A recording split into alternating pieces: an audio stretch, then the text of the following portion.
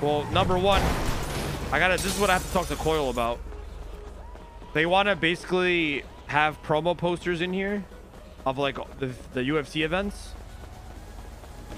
And then they, they want to see if we can go in here and have like existing like previous UFC events just always just running here.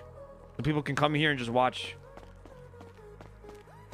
So like say there's like like you have like Ultimate Fighter up there or like a UFC a past UFC event, like the iconic ones, you know what I'm saying? We can have them running here and people can come here and just sit down and watch. I think we're gonna start doing uh press conferences here as well. Like like Wayne's and shit for VLC. I think we're gonna do them here. This would be perfect.